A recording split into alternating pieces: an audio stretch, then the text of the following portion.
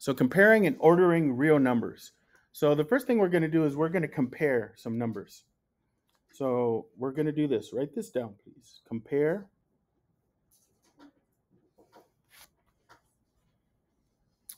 using, we're going to use either the less than sign, greater than sign, or equal. One of those. So less than, greater than, or equal. Okay. So here's an example. Hmm. There's two methods, but one is better than the other. So you probably learned this. Say we have two thirds. And we want to compare it to 5 eighths. And we want to see which one is bigger, two thirds or 5 eighths. So there's two methods. You probably learned where you, since they're both just fractions, to cross multiply, right? Remember, you multiply 3 with 5, get an answer. Well, let's just write the answer because we know it. The answer is 3 times 5 is 15. Um, then you would multiply 8 times 2, 16. So now you're not comparing 2 thirds to 5 eighths, you're comparing 16 to 15. And obviously, 16 is greater, so 2 thirds is greater than 5 eighths. That works great in this situation. Um, the other method that we're going to start using today, have you ever converted the numbers to decimal? Let's do that. Some of you are shaking your heads, yes. Great.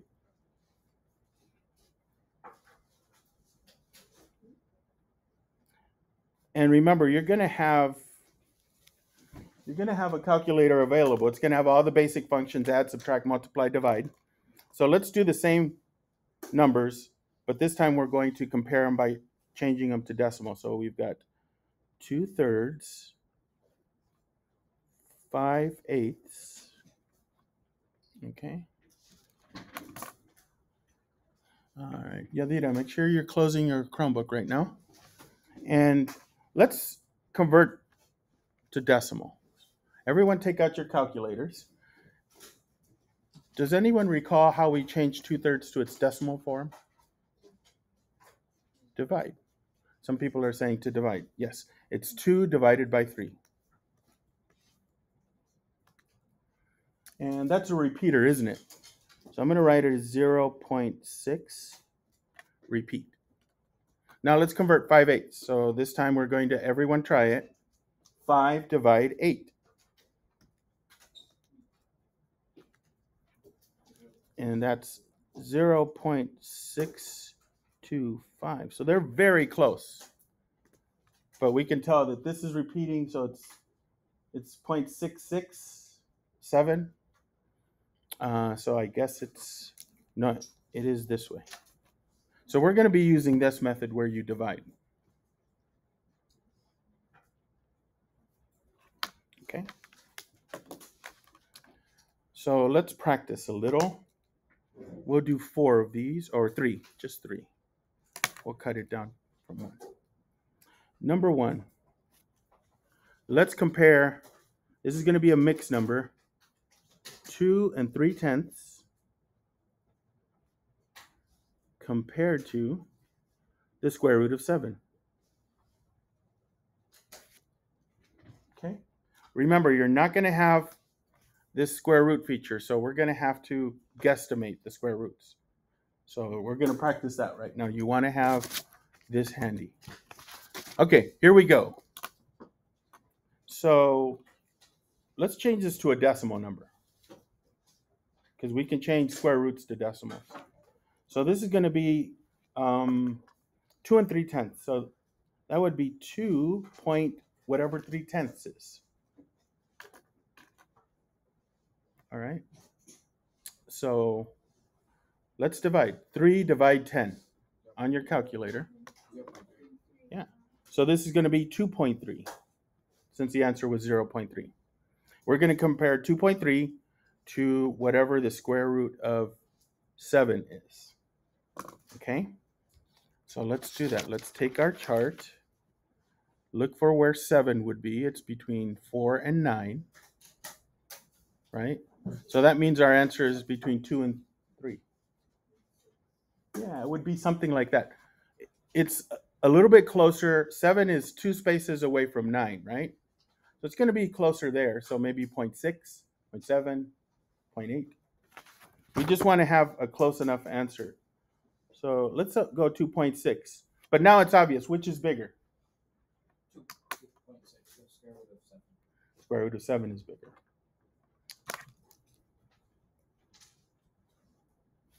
Okay. And we're on our way. Let's try a few more. Okay, let's do um, number two.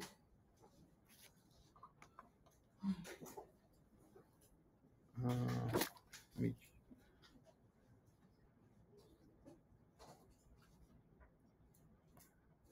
mm, let's do square root of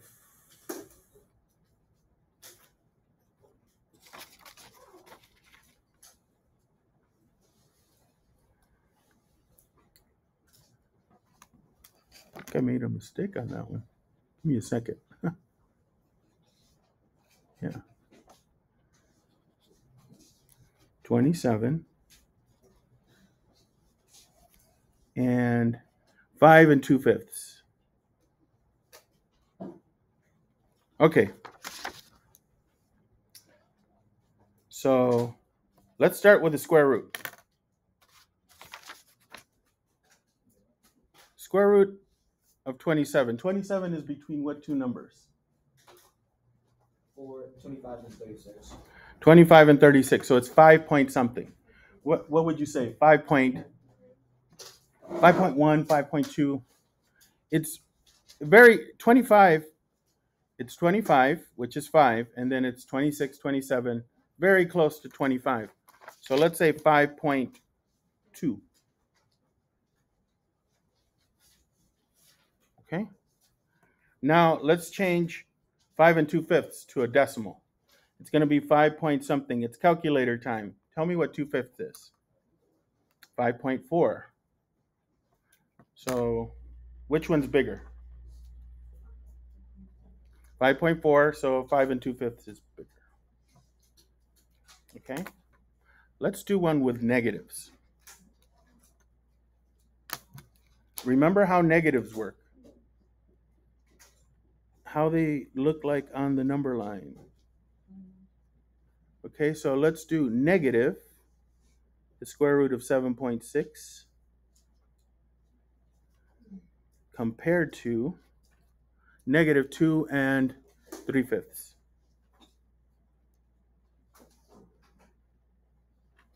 Okay, so the negative there. All it's going to do is tell us our answer is negative. So now we have to estimate the square root of 7.6. But think about this. We already did the square root of 7. It's 2.6. And the square root of 7.6 is just a little bit more than that. So what would be a good estimate for the square root of 7.6?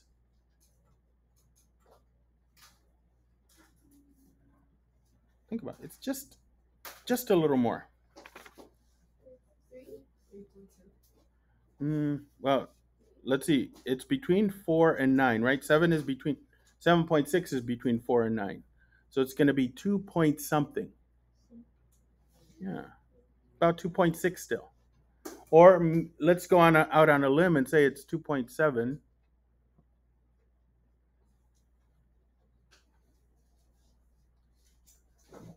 Just a little more, right? Um, how about negative 2 and 3 fifths? That's negative 2 point something. 0.6. 3 divided by 5 is 0.6. So, which one is bigger? Oh, be careful. Think of your negative number. Oh, you are right. You're right. It, I'm sorry. I'm thinking of first period where they were saying negative 2.7. Negative 2.6 is bigger. Ever so slightly, but it is bigger. Okay. All right. So the next thing we're going to do is we're going to order numbers, put them in order. Okay. So I'm going to give you some numbers and we're going to order them up. You ready?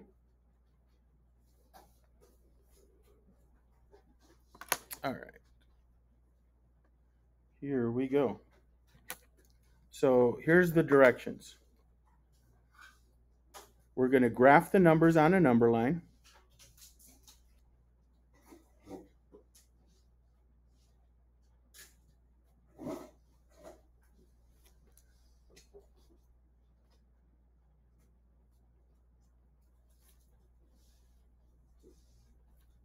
graph the numbers on a number line, and list them in ascending order.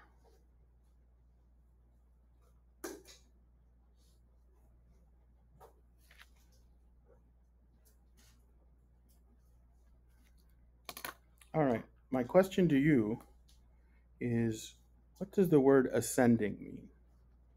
If something's ascending, Rising. So for us, when we have to list numbers in ascending order, they're going to be from least to greatest.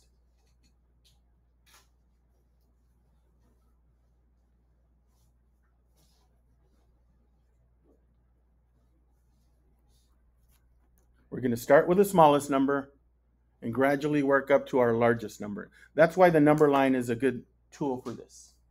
Because if you put the numbers on the number line, then you just copy them down and you have them in ascending order. Okay? Any questions? All right.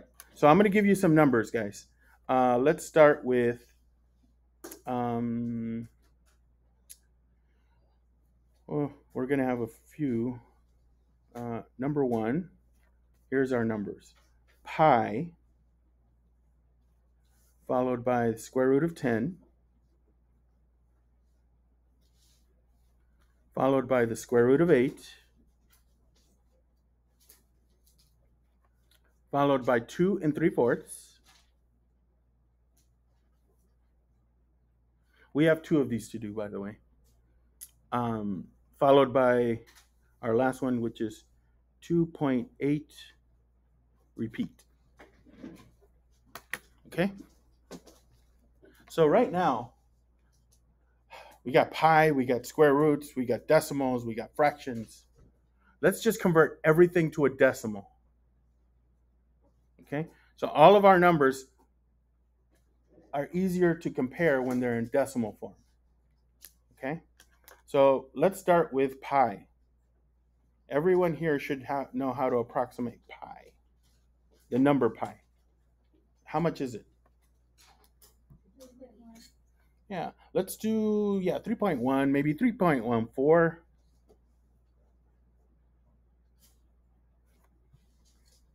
Since we can, we can go as many digits as we want there. Uh, square root of 10. Let's look at our chart. It's between 9 and 16, so it's, yeah, so it's 3 point something.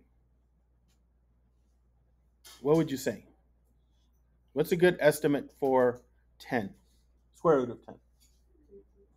About 3.1, because look, 9 is, square root of 9 is 3, and right after it, it's 10, so it's about 3.1.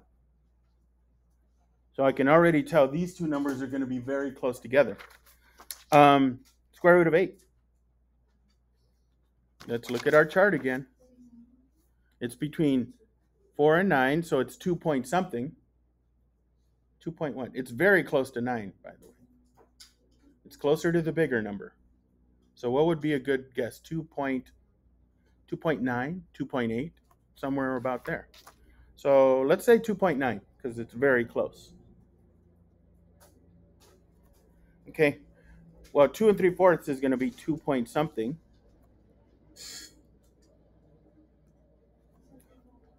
2.75. If you didn't already know that, you got your calculator, 3 divided by 4. And then 2.8, well, it's a repeating number, but it's already decimal. Okay. So let's make a number line. And they will already have a number line for you. But it looks like all of our numbers are kind of bunched up, right? Um, so let's go from 2 just a little past 3. Okay, how's that? Mm, let's make a number line. Look, oh, I have it in my hand. I was looking for my black pen. Okay. So let's say 2 is here.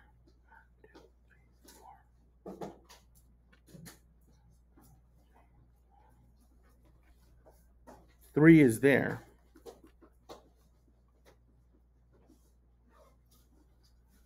And 3.5 is here. So this is 2.5 to 3.5. So two, two and a half, three, three and a half. That should be enough room for everything. Let's let's just put our numbers. Uh, I like to go in order with our smallest first. What's my smallest number here? 2.75. I should be right about here. Okay, so this is going to be 2 point, uh, 2 and 3 fourths. 2 and 3 fourths is there. 2 and 3 fourths. So this one's done. Next we have 2.8 repeating. Let's say that's here, more or less. 2.8 repeating is there. Then we have 2.9, that's very close to 3. 2.9. Oh, wait, I always do this. I should write square root of 8. Don't do what I do. Square root of 8.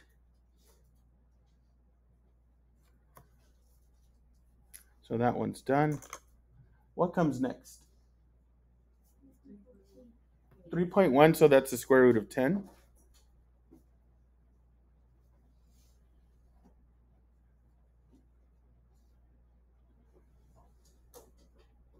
And then pi is very close. So I'm just going to put the dot right there and put it here, down here. Now, if you notice, these are my numbers that I have to put in order from least to greatest, ascending. All I have to do is copy them down here in this order. So let's do that. Let's write these larger, of course, but in that order. So our smallest is 2 and 3 fourths. Followed by 2.8 repeating. Followed by square root of 8. Followed by the square root of 10. Followed by pi, which was the largest. There are the numbers in ascending order. Boom. Okay, so they asked us to do two things. Graph the numbers on the number line, we did that. And then list them in ascending order, we did that. Okay, expect both those things to happen on the test. All right, we have one more, then we're done. So number two, this next one's going to have a few negatives, but that's okay. Just means we'll have some numbers on the negative side. Okay, I see some people still writing, so I'll give you a little bit of time while I drink my tea.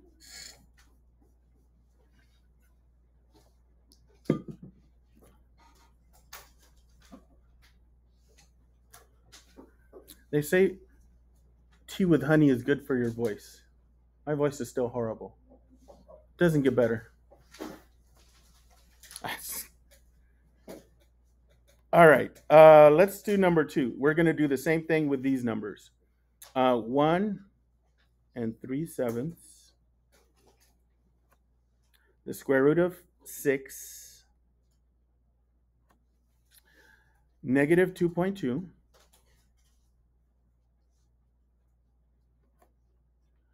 Um, what's my next number? Negative four and five ninths.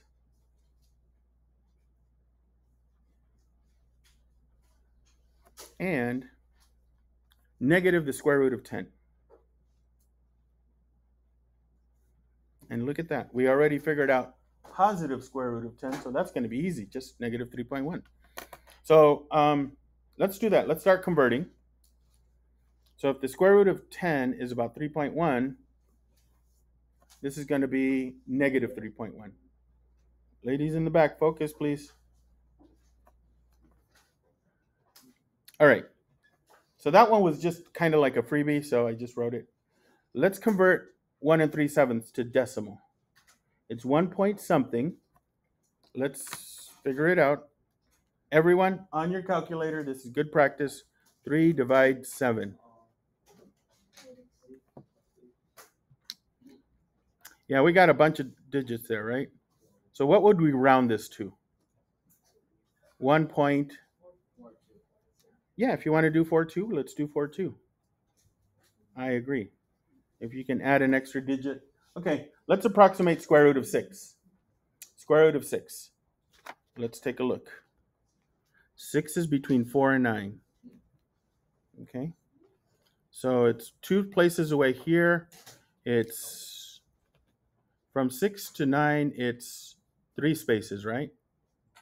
So it's kind of in between. So what would be a good guesstimate? 2 point, 2.4, 2.5, any one of those I think we're good. Let's go 0.4. Although I think 2.5 would be good too. All right, negative 2.2, so that's already decimal. And then finally, negative 4 point, yeah, we got 5 ninths. Is it 0.5? Okay. All right, you guys are quick at this now. I like it. Okay, so here's our numbers in order. So let's see, we're going from negative 4.5, way over here, all the way to, what's our largest? 2.4? So let's go from negative 5 all the way to 3, maybe. So number line.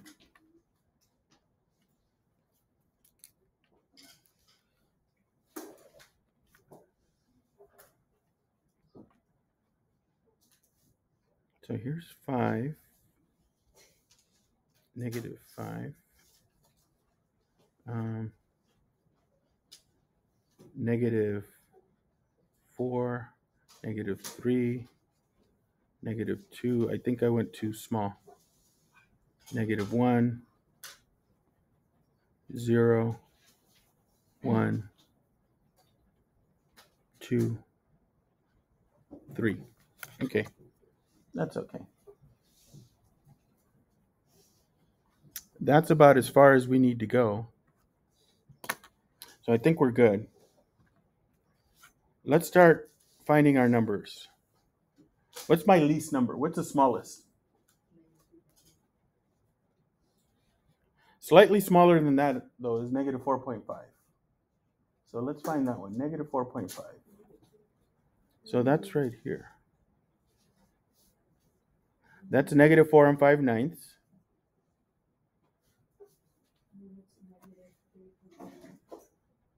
Negative 3.1.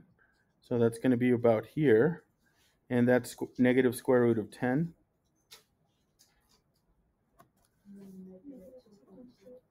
Negative 2.2. So that's about here. Um, then we have 1.42. that's about here. And that's one and three sevenths. And then the square root of six is at 2.4. So right about here. And that's the square root of six. Okay. So we just graph them. So just copy these numbers over and they'll be in ascending order. So here we go. Negative 4 and 5 ninths. Negative square root of 10. Negative 2.2.